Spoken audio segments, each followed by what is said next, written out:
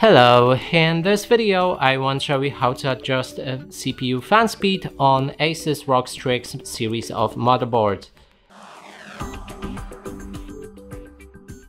To do this, first we'll need to open our BIOS. Inside, click on Q fan control and after that we can select CPU fan, then switch the speed between standard, silent, turbo, full speed or manual. And that's it for this video, hope you like it, please consider subscribing to our channel, leave a like and a comment below.